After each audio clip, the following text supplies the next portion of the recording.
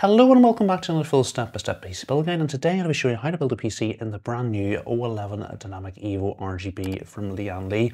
So Lian Li have really improved the O11 Dynamic Evo case. They've added a few new modern features to the case but the big selling point is the additional light strips at the top and at the bottom, which should definitely guarantee you a few extra frames per second.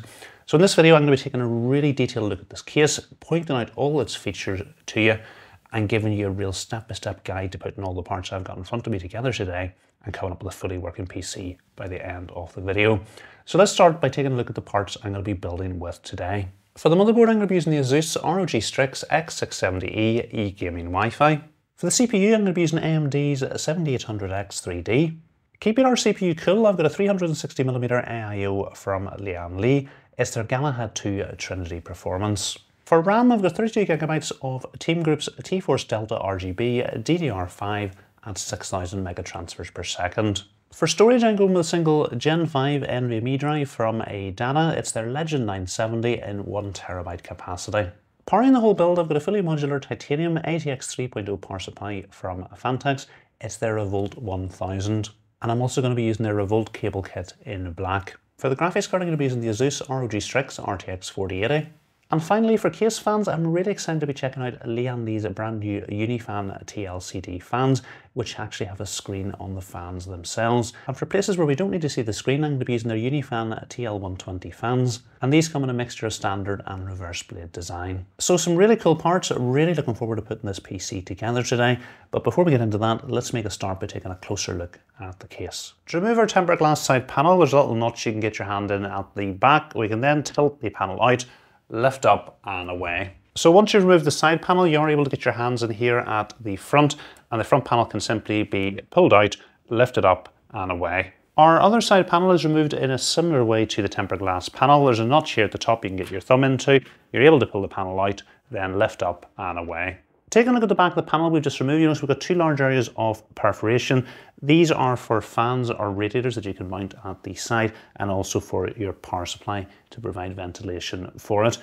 You can see there's no additional dust filters and Lian Li are going with just mesh on the case. To remove our case's top mesh panel, we've got two captive thumb screws at the back which we need to loosen. Once have been loosened, we can pull the panel backwards, lift up and away. And again, taking a look at the back of the panel we just removed, you'll notice there's no additional dust filters. Our case's one and only dust filter is down at the bottom, and Lian Li have improved this dust filter from the original O11 Dynamic Evo by giving it a plastic frame. And this was a problem with the original O11 Dynamic Evo. This dust filter kept falling off in the particular unit that I have. So this looks to be a good improvement. It's magnetically attached and all you need to do is simply pull it out and remove it. So with the panels removed, you can see our two ARGB lighting bars that give this case its name. So they go all the way along the length of the top and again, all the way along the length of the bottom as well. And you're going to get full control over these lighting strips with some buttons on the side. So we've got a mode button here and there's an up and down button to be able to cycle through the various modes. We've got a color button to change the color and we've got a brightness button to cycle through the brightness. And I'll be showing you how these buttons work towards the end of the video. Um, we've also got a reset button and a power button. And you'll see our power button wraps around the front of the case, meaning you can either press it from the side or from the front. You'll see that our I.O. is down at the front of the case, so we've got a combined headphone and microphone jack, two USB Type-A ports and a single Type-C port. And just like the original O11 Dynamic Evo, it is possible to move the I.O. module to either side of the case. So you can see there's mounting holes here and here, and these are the locations we can move the I.O. module to. To free the I.O. module up, there's a little clip here we need to pull up, and then we can simply push the I.O. module up to free it. To reach the top, we're probably going to have to pull a little bit of extra cable through, and then we can just line it up at the top. And once we're happy it's lined up, we can push it forward and it's going to clip into place. And then you can just a matter of tidying up the cables. So that's what it's going to look like on the left side of the case. And if we want to move it over to the right hand side of the case, we're actually going to have to free this little clip up. It's held on with a screw here. We can then free up the I.O. module, and then I'm just going to rotate it round, line it up with the clips on this side, and push into place. And there's a little screw hole here, so we just need to slide the clip along. We need to push a bit of extra cable back in towards the case, and then we can screw the clip back into place with a screw. And that's what the I.O. module is going to look like on the left side of the case. So it is also possible to add an additional I.O. module which Lian Li offer as an optional extra, meaning you're going to be able to install it in two out of the three mounting locations. So out of the box, the V2 version of the additional I.O. module is designed to be used in the original Lian Li O11 Dynamic Evo, and to use it in the RGB version, you're going to need to change the back plate, which actually clips it on to the case. So it's held on with four screws. So we should then be able to pull the back plate off, and we get this additional backplate in the box and it's just a matter of lining it up and pushing it into place. So you can see I've moved the I.O. module that comes with the case back to the front and I think I'm going to install this one on the right side of the case. So installing this exactly the same way as I've already shown you, just line it up with the slots and push it into place. So although the additional I.O. module does come with another clip and screw, and there does look like a hole here that you're going to be able to simply slot it into. And that looks like a nice route of routing it to this cutout here. If you do this, the dust filter is going to get in the way. And this clip here is really if you're going to be inverting the case to reverse mode. So if you do install the I.O. module down here, you are going to use the additional clip here to secure the cables before routing it back into the hole. But what Lian Li recommends if you're using these two clips is you just use this one clip at the bottom to manage both cables. So the open side of the clip is down at the bottom, so I'm just going to route these cables under here, and then we'll get them clipped in here at the bottom. So just about able to get them fit in. Space is quite tight, but with a bit of a squeeze they will go in. And then all we're going to need to do is feed the cables through to the second compartment. And we should now be able to slide our dust filter back into place. We just need to lift these cables up temporarily and there we go. So if you are thinking of adding in the additional I.O. module, one thing to take care is that your motherboard is actually going to have the ports to accommodate it. For the additional two USB Type-A ports, you're going to need to have an additional USB 3.0 header on your motherboard. Remember, the I.O. ports at the front are going to be taking up one header on your motherboard. For the Type-C port to work, again, it's another USB Type-C internal header for it to work. And while most sort of modern mid to high range motherboards will now start to have two of the ports allowing you to get all four of your USB Type A ports working. There's very few motherboards that have two internal Type C ports, so that might be the only limitation with doing this. So another improvement over the original O11 Dynamic Evo is the ability to remove this front pillar. It's held on with two screws at the top and two at the bottom. And then with all four of the screws removed, the pillar can simply be lifted away. So I am applying quite a bit of pressure on the top of the case and there doesn't seem to be any flex in it. It seems lovely and sturdy. So I don't think I have any worries about removing this front pillar. So in terms of fan support at the bottom, the top and the side, it's up to three 120 or three 140 millimeter fans, while at the rear of the case, it's up to 120 millimeter fan. In terms of radiator support at both the bottom and the side, it's up to a 360 or 280 millimeter radiator, while at the top of the case you can fit up to a 360 or 420 millimeter radiator. Like the original O11 Dynamic Evo, there is an optional mesh front panel kit. It comes in two brackets which you're going to fix onto the front of the case and then you get a mesh panel. The advantage of doing this is it is going to open you up to fan mounting slots at the front of the case and on the bracket you're going to be able to mount up to three 120 or three 140 millimeter fans or up to two 160 millimeter fans. Unfortunately I don't have this kit to show you. Mounting your fans and radiators should be straightforward with removable fan stroke radiator brackets at the bottom, on the side and at the top. The one at the bottom is held on with this thumb screw. Then with the thumb screw removed, we're going to be able to slide the bracket towards the front of the case, tilt it out and lift away. So another improvement Lian Li have made to this version of the case is that you don't actually need to remove the top fan stroke radiator bracket to install fans and radiators at the top. In the original version of the O11 Dynamic Evo, there was no access to the holes, so you had to actually remove the bracket and install your radiator and fans outside the case before slotting it back. And while some people like to do this, not everybody does. So you can see here, there's no obstruction at all to the mounting slots at the top of the case with the bracket in the case.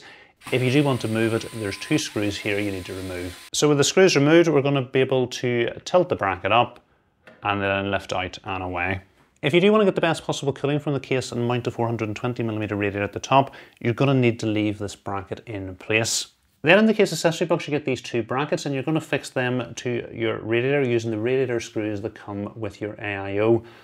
Now, in terms of the brackets, the open side you're going to want to have facing either side of the case. And although these brackets do look very similar, they're not, they're slightly different.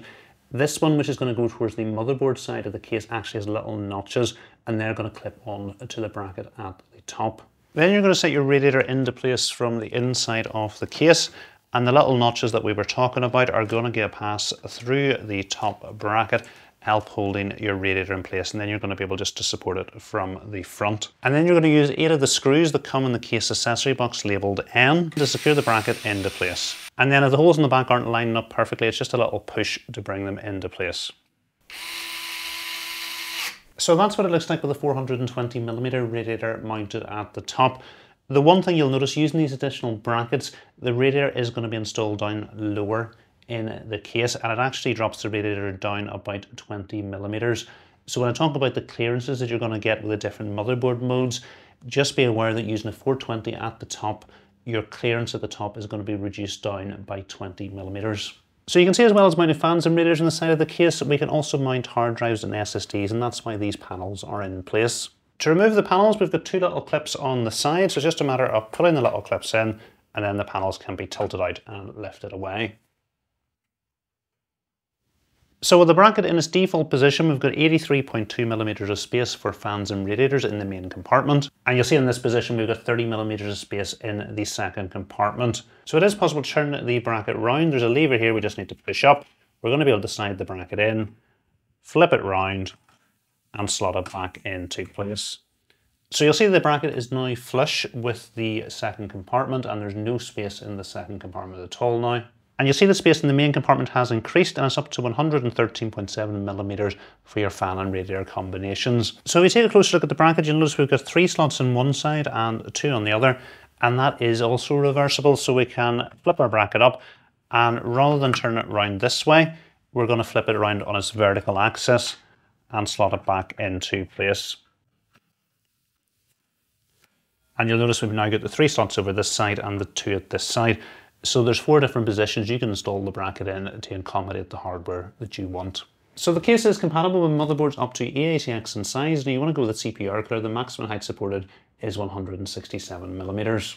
So in terms of installing your motherboard, there is two different height options that you can install it in. And we take a look at the standoffs at the back of the case. You'll notice that we have got two arrows. There's a down arrow, which the standoffs are secured at, but there's also an up arrow just above it. And that's the two different height options you have for your motherboard. You can install in the low position, which it comes by default out of the box, or if you move all the standoffs up to the high position, that's going to install your motherboard in the high position. So in the case accessory box, you get the standoff insertion and removal tool, which you simply pop over your standoffs. You can then get a screwdriver over the top. Use that to remove the standoff. Take the standoff up to the high position and pop it into place. And then it would just be a matter of repeating that for the other eight standoffs. So obviously if you move all these standoffs up, your motherboard is actually going to be moved up as well. Lian Li have thought of this. In the low position, there's a space at the top of the motherboard which is covered by this plastic clip. So to move this little bracket, there's little clips on each side, so it's just a matter of freeing them up.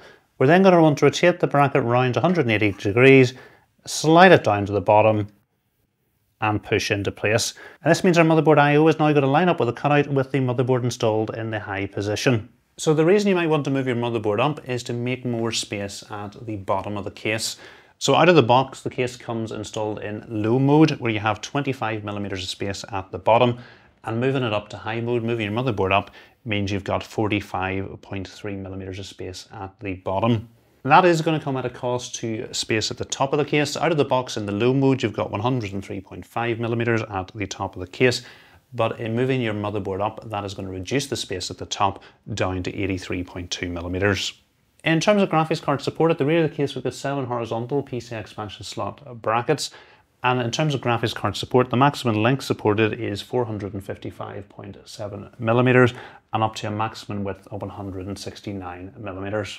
So you have a few different options for mounting your graphics card in this case. You can of course mount it in the traditional horizontal position, you can mount it vertically, or you can mount it in the upright position. If you go with the horizontal position, your graphics card is going to be really well supported as Lian Li include a GPU support bracket with the case. So the technique for installing your GPU support bracket varies depending on whether you're using an ATX or EATX motherboard. So I'll show you first of all how to install it with an ATX motherboard. So after installing your motherboard, you're going to go ahead and secure it with the screws but you're not going to use screws for these two standoffs. In the GPU support bracket kit, you get these long standoffs, and they're going to simply screw through the motherboard and into the standoffs beneath. And this bottom one is a little bit of stiff to screw in, so you can use the standoff insertion and removal tool to secure it into place. Tighten this one up as well. Then we can set our GPU support bracket into place and there's little protrusions on the standoffs so it's just a matter of lining these up with the holes and then it's going to slot through and then we're going to secure it into place with two screws that come in the box. Then we've got this little bracket we're going to slot over the top and secure it again with the same screw.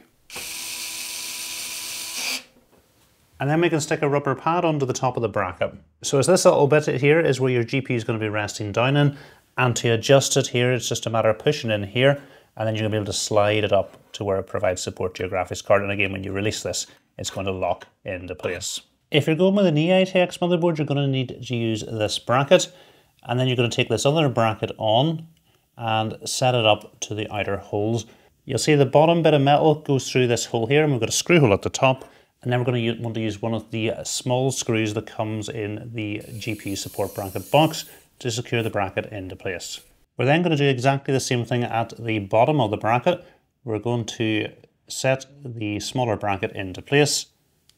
And then if we turn it around, you'll see the little bit of metal has gone through the hole and we've got a screw hole at the bottom. And then if we take another one of these small screws and secure it into place. So this time we're going to set the bracket into place before setting our motherboard into place. And we're just going to push it all the way to the back of the case. So I might just temporarily need to move those rubber grommets a little bit to get it into place. I'm just going to slide it up between the rubber grommets. And I'll slide this one so that gets it all the way to the back of the case. We've then got these little spacers which go over the top. And then you're going to install your motherboard over the top of this and just secure the screw through the motherboard and into the standoff behind it. Then you're going to be able to line the GPU support bracket up with this bracket here and using the screws that come in the box with a GPU support bracket secured into place. So because with an EATX motherboard, it's going to extend past these holes here over to here. This just allows you to still use the GPU support bracket. And again, it's exactly the same way to move it up and down, push the button in and slide it up to where it supports your graphics card. And obviously you're going to need to assemble this little T-shaped bracket onto here just the same way I showed you with the ATX bracket. So the case is compatible with Lian Li's Universal 4 slot vertical GPU kit. And the first step in installing it is to remove the top six PCI expansion slot covers. Then all you need to do is slide the vertical bracket into place and secure it into place with the thumb screws we've just removed. So for this build I had actually been planning on installing my graphics card in the vertical position. In previous builds I've installed it horizontal and upright and I thought today would be a perfect chance to show you it vertically. But you can see my problem here. I do love black and white themed builds but even for me this has taken it too far and Lian Li have sent me the white bracket with the black case so unfortunately today we're not going to be able to show you this in the build. In terms of the bracket, it does come with a Gen 4 riser cable, so all you need to do is move the plastic protection from here. You're obviously going to install your motherboard first and get all your cables plugged in because it is going to block all the ports, and then you're going to be able to plug this into your motherboard. We're going to make sure the clip on the bracket is open, and then we can line our graphics card up with the slot and apply a little bit of firm pressure to get the GPU to clip into place and then we'll secure the GPU into place with two of the thumb screws we've just removed. Lian Li also include two spare expansion slot brackets, which if we want, we can slide into place.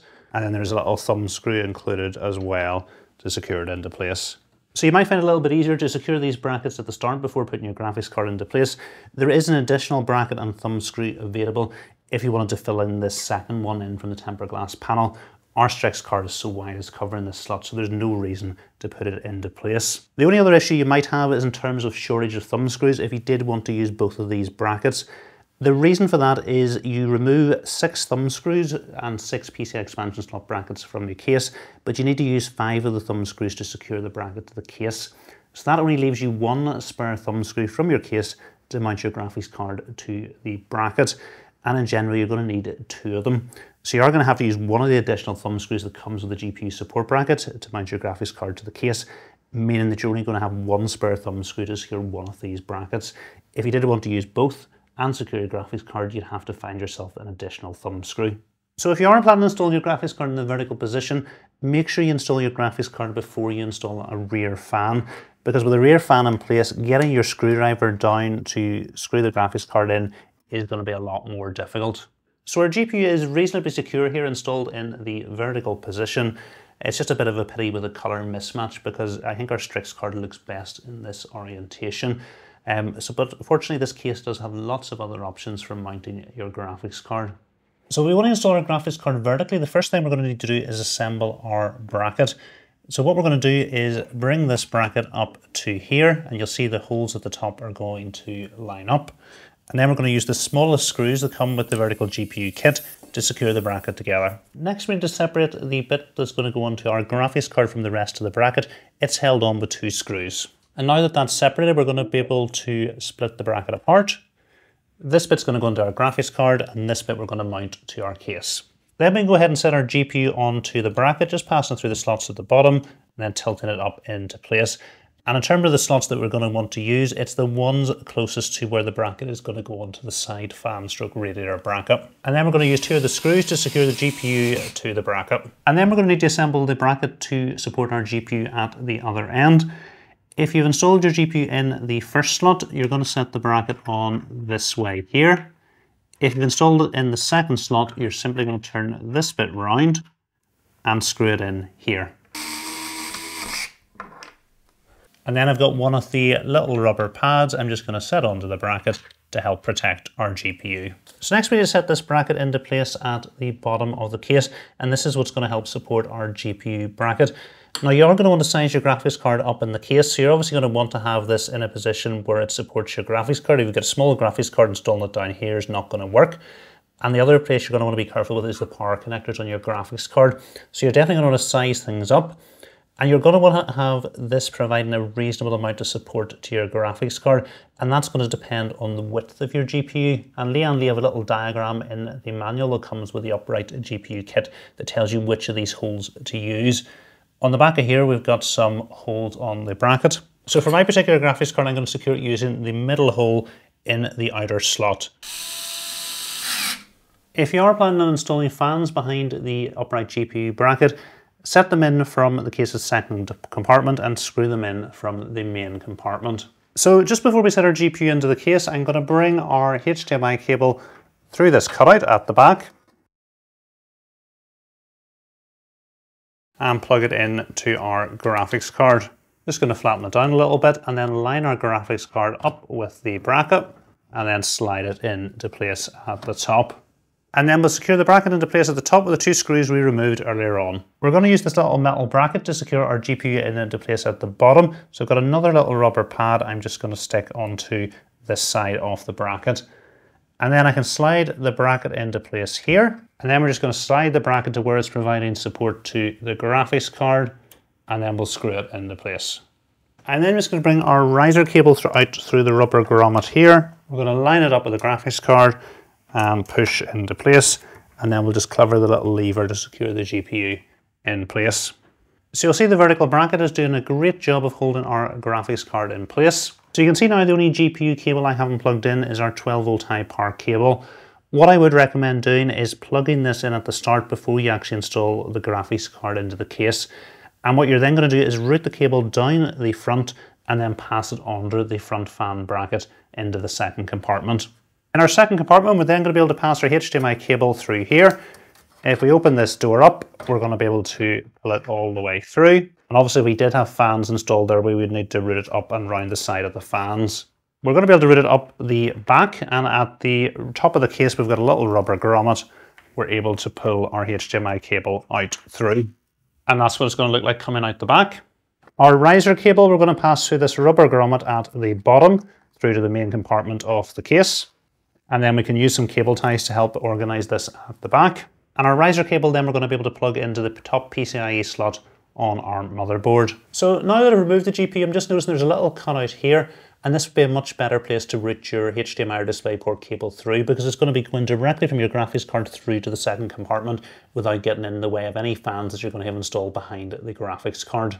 Just before we move into our case's second compartment, I wanted to point out that we've got rubber grommets on all the cutouts surrounding the motherboard. Moving into our case's second compartment and we've got this magnetically attached cable covered door.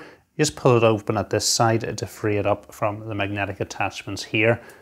And on the back of this cable cover door, we're going to be able to mount up to two two and a half inch drives. To mount the drives, you're going to take one of these little rubber pads and pass one of the smaller two and a half inch drive screws through the pad.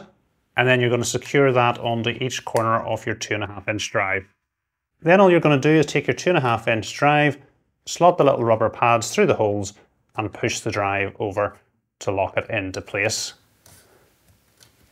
and you're going to be able to install one drive at the top and one drive at the bottom of this cable covered bracket and then close the door and that's what it's going to look like from the other side.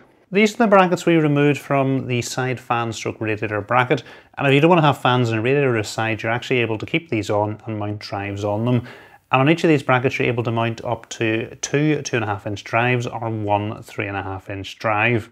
So the first thing to do in mounting the drives is to push rubber pads through the holes that you're actually going to be securing your drives to. So you're just going to line your drives up and decide which holes you're going to use. Then we can set our drives into place, turn the brackets over, and then we're going to use these screws to secure the drives to the bracket. The ones with the thicker end are for 3.5 inch drives, the ones with the thinner ends are for 2.5 inch drives. Then we can simply slot the drives onto the side bracket. So you can see we've got a little cutout here, so all the I.O. from the drives is going to be able to pass through here to our power supply and then on through to our motherboard. The other place we can mount drives is in the two individually removable hard drive cages at the back of the case. To remove each of the hard drive cages, we need to remove the thumb screw at the back from the drive cage that we want to remove. And then to remove the hard drive cage, it's just a matter of lifting it up to the middle and it can be pulled out. And then same thing for our second drive cage. So each of these hard drive cages can accommodate either a three and a half inch or two and a half inch drive. Out of the box, it's set up for a three and a half inch drive. You can see the little rubber pads have been pushed into place. You're going to set your three and a half inch drive into the tray. And then you're going to use the same screws we used over on the side fan bracket to secure the three and a half inch drive into the tray. If you do want to go with a two and a half inch drive, you can see there's additional holes here. There's no rubber pads on them there for your two and a half inch drive. Set it into the drive cage, and then you're going to use the same screws you're going to use to secure the motherboard to the case to secure the two and a half inch drive into place. Cable management in the case looks to be excellent. We've got Velcro cable straps at the top, at the bottom, and at the top and bottom of this central raceway. And we've got these metal cable clips that Li have used in some of their other cases in the middle of this raceway. To remove the clip, it's just a matter of pushing it to the side, and you'll see then it's got little rubber grommets on it holding it into place. And you've got two different positions you can install it in, so we want to move it down to the lower position, we can push it into place and move it into here. So the idea behind this is you're going to be able to put your larger power supply cables hidden behind this metal bracket and you've got another Velcro cable strap on the front to manage smaller cables like your fan or case cables. So taking a look at our case cables coming from our front I.O. module, we've got our HD audio cable, our USB 3.0 cable and our front panel type C cable. We've got all our front panel connectors organized into a single header and then coming from our case's built-in ARGB controller, we've got a 3.5 volt ARGB cable which we plug into your motherboard will allow it to sync up with our motherboard and a SATA power cable which we need to plug into our power supply otherwise our case's ARGB controller isn't going to work. Our power supply is going to go down at the bottom of the case. There's a little bracket here it's going to rest on and the case is compatible with full-size ATX power supplies up to a maximum length of 220 millimeters. You'll notice that our power supply bracket protrudes from the back of the case by 15 millimeters and this is to improve your power supply compatibility as well meaning your power supply doesn't go as far into the middle of the case where it's not going to interfere with your cables. And you'll notice our hard drive cage is a very similar arrangement, but protruding out from the back again, meaning it's not going to get away the cables in the middle of the case. So another thing to point out about our power supply bracket, it has these little cable clips here where you can use a cable tie to manage the cables coming down from your motherboard and your graphics card at the back of the case. This bracket is removable. It is optional because you can just simply insert your power supply in from the side. Otherwise, you can remove this bracket and attach it to the back of your power supply. So there's two screws at the back and two screws at the side to remove. And with the screws removed, we can simply remove the bracket. Last thing I want to do is show you how to reverse the case, which you'll find particularly useful if you want to put the PC on the left-hand side of your desk, or just want to have a completely different looking build. So we've already removed a lot of the panels and brackets that we're going to need to do, but there is a few extra ones that we're going to need to remove. So on the top of the case, we've got this panel here. It's held on with a thumb screw at the back.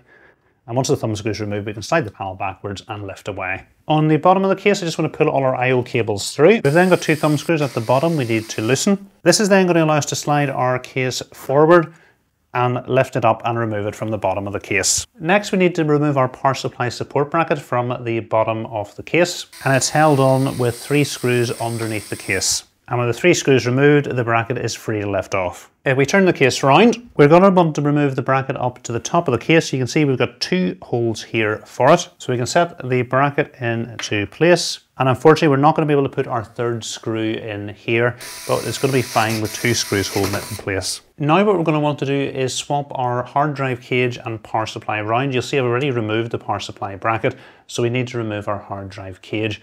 It's removed in a similar way, two screws at the back and two screws at the side. So I'm just going to move the hard drive cage down to the bottom. And then we can move our power supply bracket up to the top.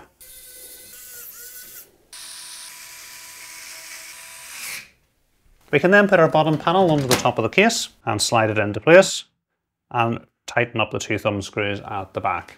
So previously our I.O. cables went down through this hole here, but that is now into the main body of the case.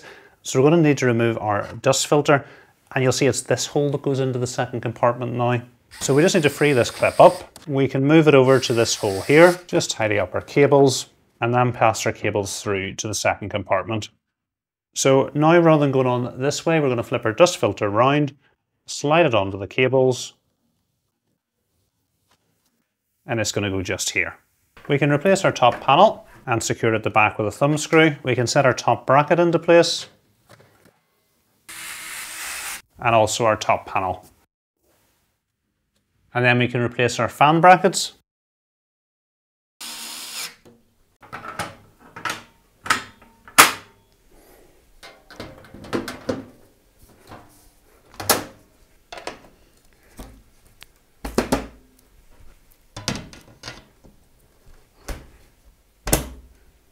And this is then what the case looks like in the reverse mode.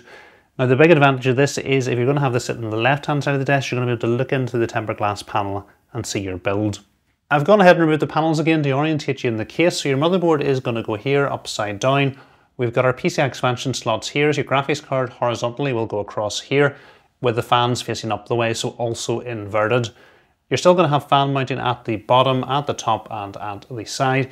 And if you want to mount your graphics card upright, you can still do this at the side as well. And if we take a look at the back, again, because we've reversed our power supply and hard drive cage, power supply still at the bottom, hard drive cage still at the top, we've got cable management in the middle, and we've still got our fan bracket towards the front of the case. So you can definitely come up with a really cool build at no extra cost just by simply reversing the case, but that's going to be a project for another day.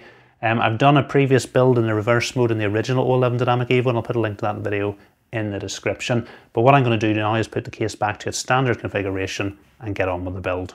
We're now ready to start work on our motherboard and we're going to be installing our CPU, our M.2 SSD and our RAM before we put the motherboard into the case. We can open our socket cover by pushing this lever down and out to bring it all the way to the middle of the motherboard and then we're going to be able to open the socket cover up. We can then lower our CPU down into the socket, making sure we've got the text the correct way round.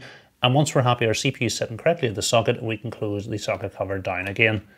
Then if we close the lever, the black bit of plastic will pop off and we'll put it in our motherboard box for safekeeping. We're going to be installing our M.2 SSD in the top slot. So I'm just going to go ahead and remove the heatsink. If you're using the motherboard from new, there'll be some plastic protection on the bottom that you're going to need to remove. We can then set our drive into the socket flatten it down and close the little clip here to hold it in place. Again, if you're using the motherboard from new, there'll be plastic protection on the back here that you're going to need to remove, and then we can go ahead and replace our heatsink. We're going to be installing our RAM in the second and fourth slot along from the CPU, so we can go ahead and open the clips on these slots. Then we can lower our RAM down, line it up with a slot. Once we're happy everything's lined up properly, it's just some firm pressure and it's going to clip into place. And then same thing with our second stick RAM, line it up and some firm pressure. Next we can set our motherboard into the case, line it up with the standoffs at the back. Once it gets through the middle standoff, that will help hold it in place. And then we can secure the motherboard to the case using seven of the screws with a little lip around the outside. And then we can screw in the standoffs for our GPU support bracket. And then we can set our GPU support bracket into place. The next thing to do is plug in our case cables. Our HD audio cable is going to go to this header down the bottom left hand side of the motherboard. So we can bring the cable through the cutout and we're going to have to plug it in with the HD audio text facing up the way. We've got two ARGB headers down the bottom of the motherboard, so we'll bring our ARGB cable coming from our cases controller through, line it up with the header and push into place. And Lee Lian Li have organised all our front panel connectors into a single header. Um, it's going to go into this header down the bottom left hand side of the motherboard and it's the pins over to the left hand side that we're going to want to plug into and we're going to plug it in with the front panel text facing up the way. Our USB 3.0 cable is going to go into this header here so we'll bring it through the cutout at the side, line it up and push into place and then pull the excess cable through to the back. Our front panel Type-C header is just above this so we'll bring the cable through the cutout, line it up with the header and push into place and again we'll just push all our excess cable through to the back. We are now ready to install our power supply and it is a fully modular power supply coming without any of the cables plugged in. I've gone ahead and plugged in the cables that we're going to need. So down at the bottom I've plugged in our 24 pin cable. I've plugged in two 8 pin EPS cables to provide additional power to our CPU. I've plugged in our 12 volt high power cable to power our RTX 4080. I've also plugged in a PCIe cable. We're going to need this to actually power our fan hub for our Lian Li Uni fans. And I've also plugged in a SATA power cable because we're also going to SATA power for our case and our AIO. So something important to point out about our power supply, it has a hybrid zero fan mode. So whenever the power supply is under low load, the fan will stop spinning, helping reduce noise in the build. And to turn it on, we want this button in the outer position. So I'm just going to push it in and that's going to bring it to the outer position, which means the hybrid fan mode is turned on. We can then set our power supply bracket onto our power supply and secure it into place with the four power supply screws. Next, we can set our power supply into the case and we'll secure it into place with the four screws. Our two 8-pin EPS cables are going to go into these headers at the top left of the motherboard, so we can go ahead and bring them through the cutout, line them up with the headers, and push into place. And we've got some cable combs on the cables to help organise them. Our 24-pin power cable is going to go into this header here, so we'll bring it through the cutout, line it up with the header and push into place. And again, we've got some cable combs on the cable to help organize it. Then at the back of the case, we've got the SATA cable coming from our case to plug into the SATA cable coming from our power supply. We're now ready to install our AIO and I'm going to point out its features when it's on the table because it's a bit easier to show you. So all our fans are already installed in the radiator and connected up together. Coming from our radiator, we've got two cables. First is a 4-pin PWM connector and we've got two choices for this. We can plug it into our motherboard CPU fan header and let our motherboard control the fans in the radiator, or we can plug it into a cable coming from our pump, and that's going to allow Lian Li's L-Connect to control the fans on the radiator, which is the option I'm going to go for. The other cable is a speed controller. It's two speeds, high and low. High is incredibly noisy, although it does give pretty good cooling. Um, I'm going to slide it over to the low setting, which gives great cooling at also great noise levels. Next thing to do is take a look at the cables coming from our pump. So first of all, we've got a USB cable, and we're going to need to plug that into a USB 2.0 header on our motherboard to allow Lian Li's L-Connect to control the lighting and also the pump speed. We've also got a 4-pin PWM connector. We're going to plug that into the pump header on our motherboard to allow our motherboard to control the pump speed. And we've also got a SATA power connector, and that is going to power our pump. If we take a look at the side on the top where the tubes are, we've got this little additional header with a double cable symbol. Into here, we want to plug this double cable in. Coming from it, we've got a 4-pin PWM header, and this was the header I was talking about. If we plug the fans on our radiator into here, the Lian L-Connect is then going to be able to control the fans on the radiator. On the other end of this double splitter cable, we've got an ARGB cable. Um, two options for it. You can unplug it here, and if you have a device like Lian Li use, you can plug it directly into here. But there's also this little splitter cable, which has a 3-pin 5-volt ARGB connector. And if we plug anything into here, it's going to allow Lian Li's L-Connect to control the lighting effects on it. On the other side of our pump, we've got this single cable here. And if we plug an additional cable that comes with our AIO into here, it's going to allow our motherboard to control the lighting on the pump itself. I'm definitely going to be using the Andes L Connector controller because it gives us much more control over everything. So it's going to look much tighter if I don't plug that cable in. But there is an additional cable you can plug into here and plug into an RGB header on your motherboard if you want. Next thing to do is to slide our AMD brackets onto our pump. Just a matter of pushing them into place on one side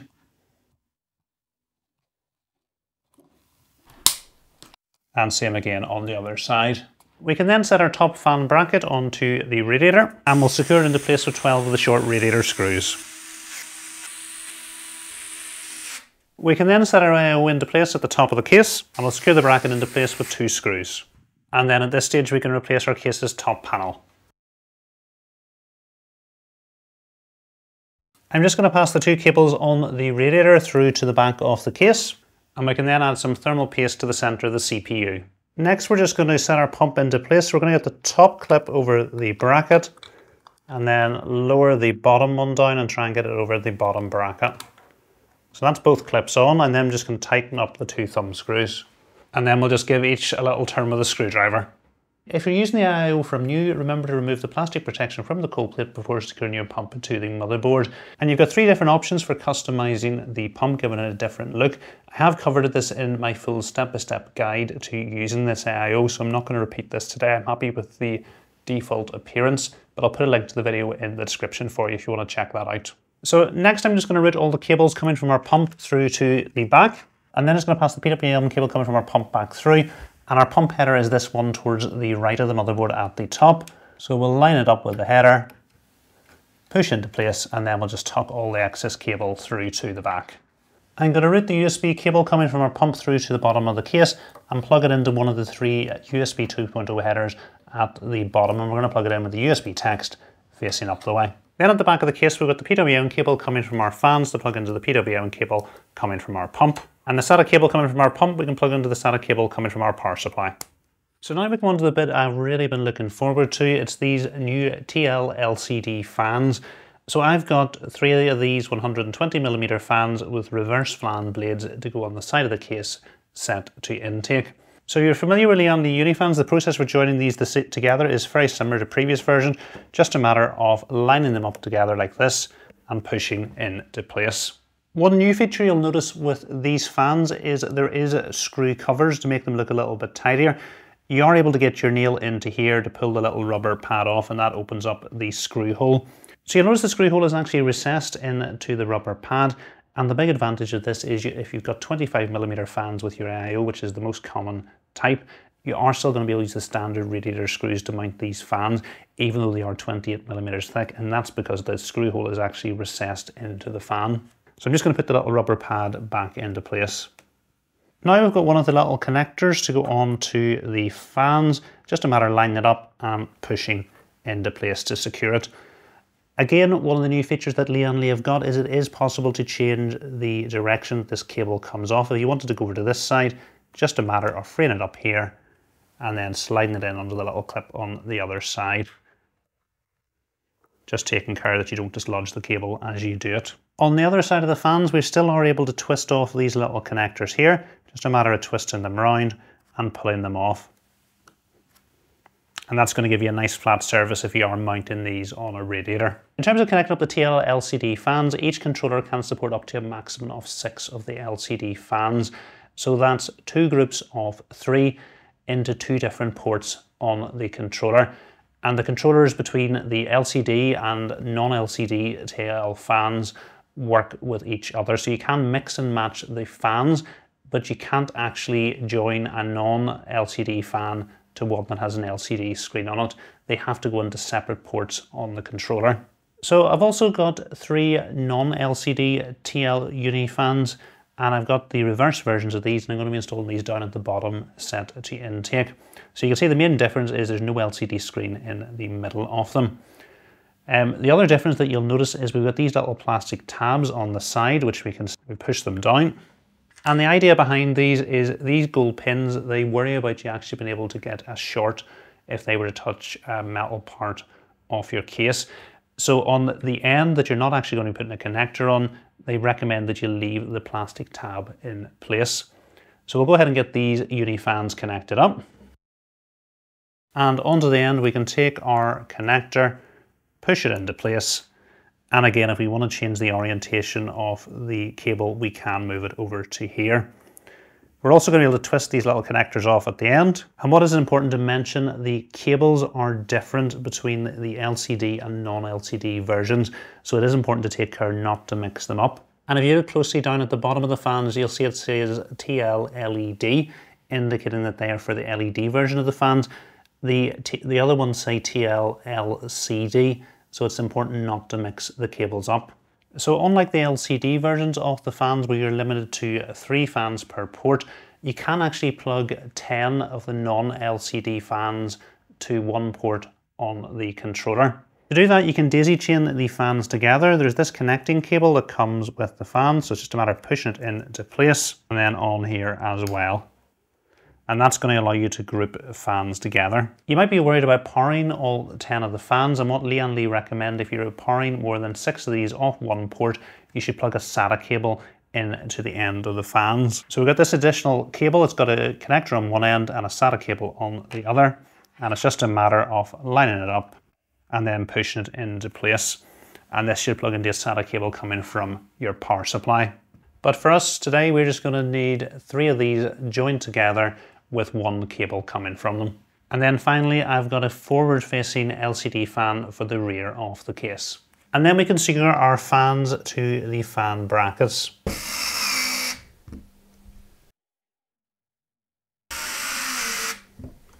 Next thing to do is install our Unifan controller and as you can see it's got one, two, three, four ports on it. Um, in terms of the cables coming from the ports, they're all plugged in already. So we've got a four pin PWM connector. We plug that into a PWM header on our motherboard. It's going to allow us to have motherboard control.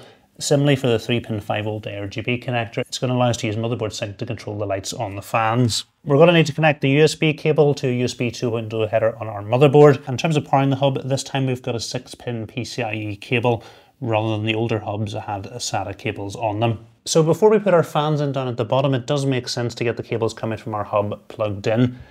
So we've got a PWM connector here down the bottom of the motherboard, so I'll bring the PWM cable through, line it up with a header, and push into place. Next to it, we've got an ARGB header, so we'll line the cable up, push into place, and we'll pull the excess cable through to the back. We've got two spare USB 2.0 headers here, so I'm just going to plug the USB cable coming from our hub into one of them. And at the back of the case, we need to plug a PCIe cable coming from our power supply into the PCIe cable coming from our hub. Just before we set our bottom fans into place, I'm just going to feed the cable coming from them through to the back of the case. And then we can set the fans up and into place and secure them into place at the bottom with the thumb screw. We can set our side fans into place and again we'll just feed the cable through to the back of the case. And we can set a single fan into place at the rear and screw it in from the back. Then we just need to plug our fans into the controller. So I'm going to plug our bottom fans into port number one, our side fans into port number two, and our rear fan into port number three.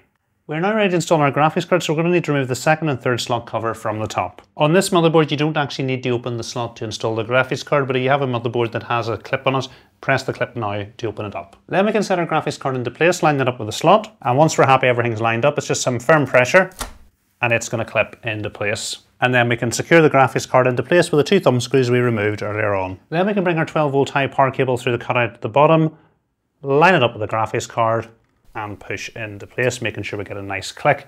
And again, we've got some cable combs on the cable to help organize it. Then we need to slide the GPU support bracket up to where it supports our GPU. Okay, last thing to do is some cable management and get the panels back on again.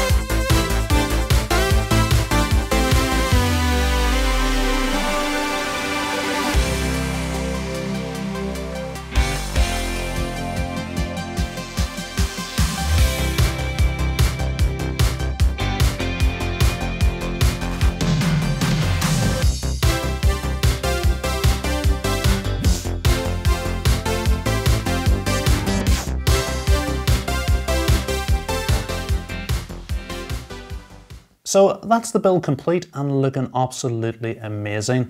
I think I underestimated just how much a difference the RGB lighting strip at the top and the bottom would actually make. And again, I just thought Lian Li had released another Lian Li Unifan, but these new TL Unifans and also the TL LCD Unifans are absolutely game changing. The lighting effects on them look incredible and the LCD screens really are completely game changing to how you build your PC. I am going to cover the setup of these at the end of this video, but what I wanted to say now was um, I'm not going to cover the whole setting up of this PC. The reason for that is I've done a previous build guide using this motherboard and the setup is going to be very, very similar. So I'll put a link to that video in the description. If you don't know how to install Windows, the drivers, adjust all the RGB software, enter the BIOS, update the BIOS, and adjust all the BIOS settings, that covers everything. The only additional thing to mention with this video, because with this particular IO, we don't have anything plugged into our CPU fan header, I did keep getting an error every time I tried to turn the PC on and it wouldn't actually boot into Windows.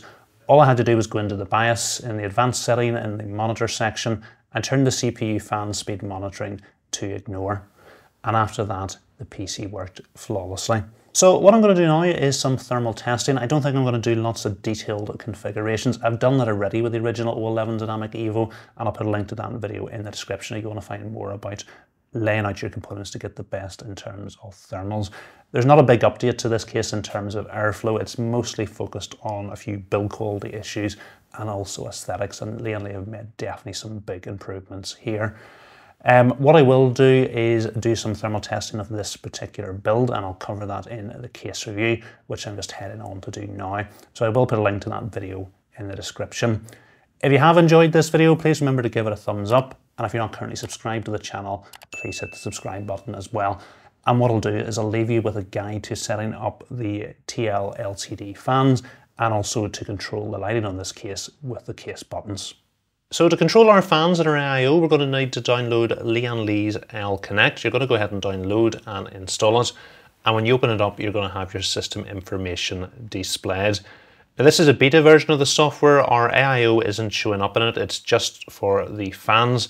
Um, when you get the version that releases on the day the fans are available, it will be able to control both your AIO and your fans. So I'm not going to be able to show you the AIO setup today, but I have done that in the previous video and I'll put a link to that video in the description if you want to know how to set up and control your AIO. And today I'm just going to focus on our fans.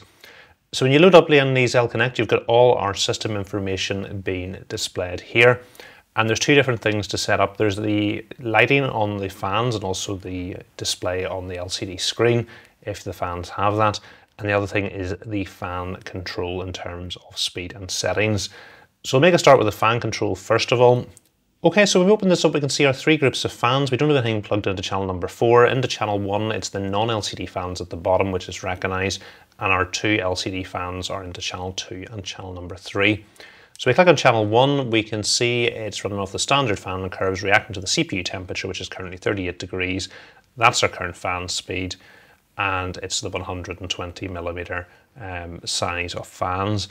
We can adjust things over here, very similar to what we did with the previous Unifan. So if you want to go with a quiet fan profile, it's going to change the curve.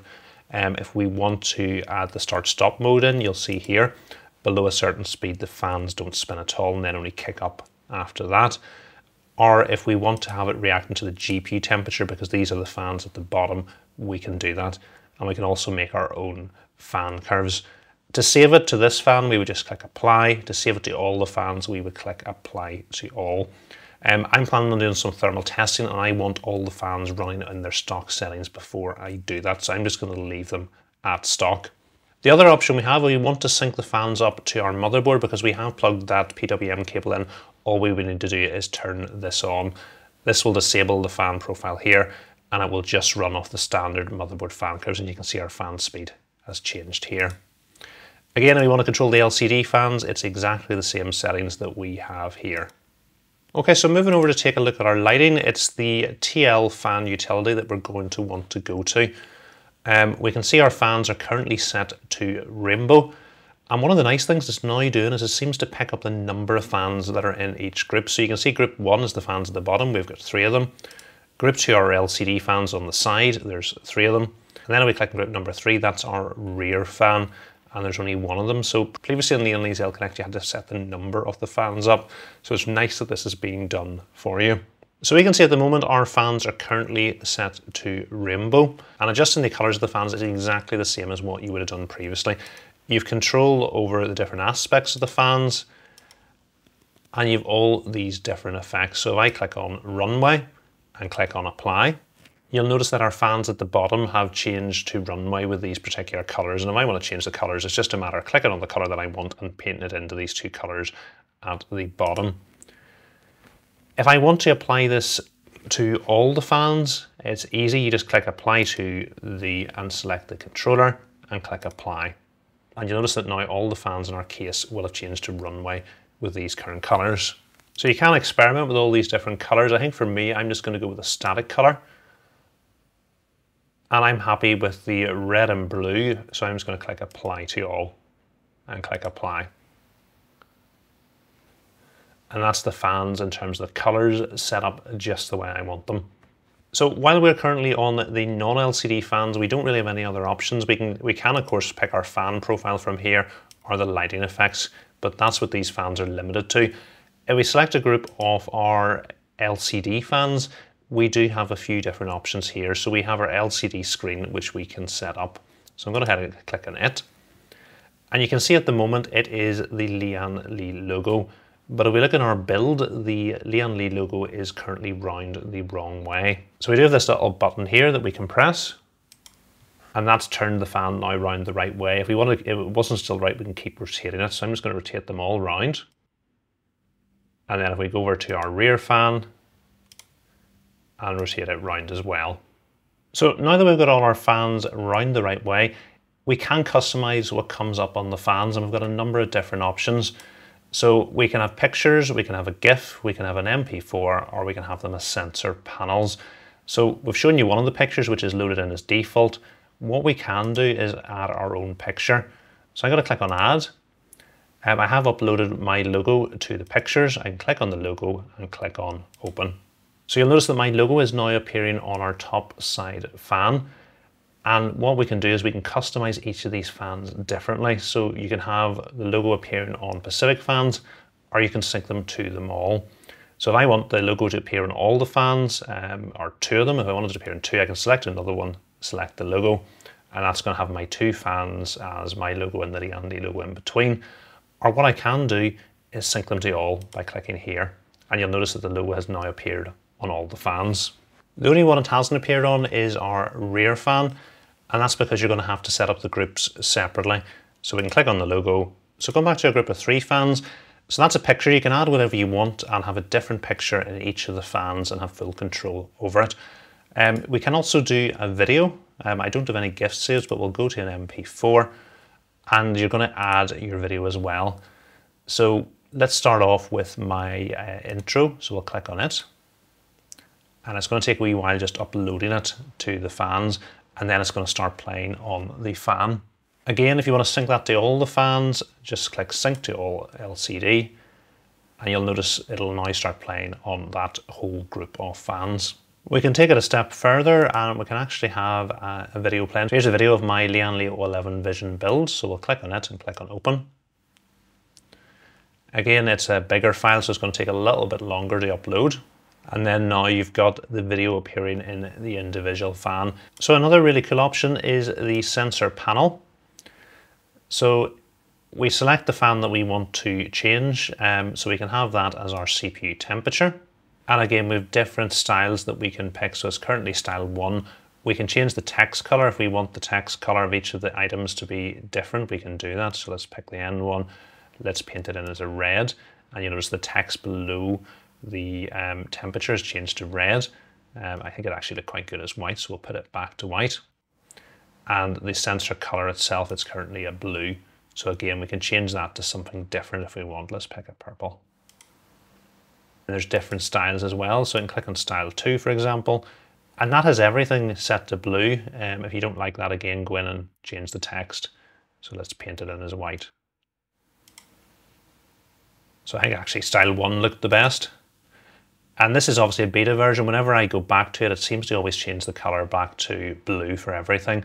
Um, I imagine by the time it releases, they'll have these issues ironed out.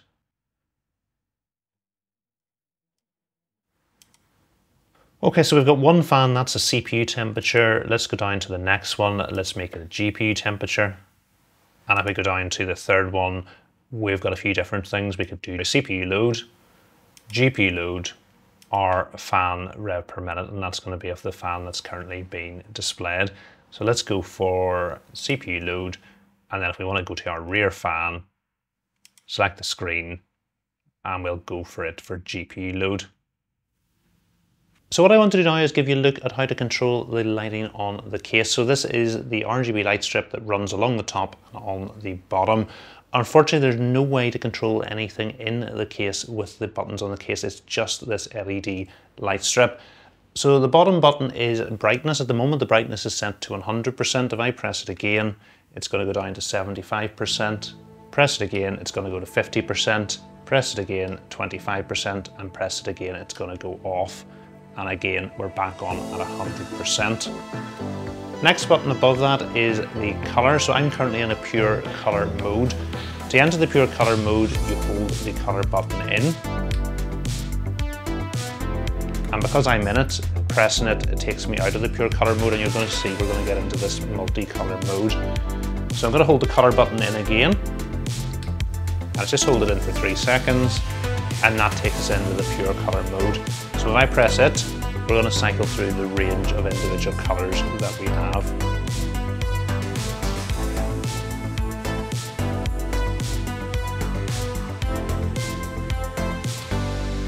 And hold the button in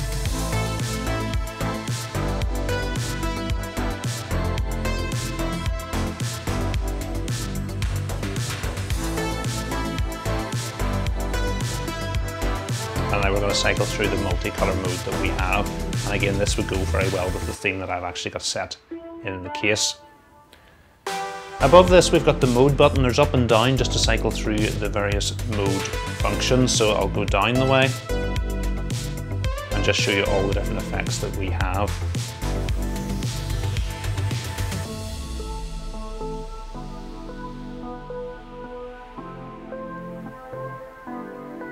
Now some of these you are going to be able to adjust the colour, so in this particular one if I press the colour button, we are going to be able to change the colour of that individual effect. Obviously a lot of these have more rainbow type effects and you're not going to be able to adjust the colour, so I'm going to just keep looking down the road.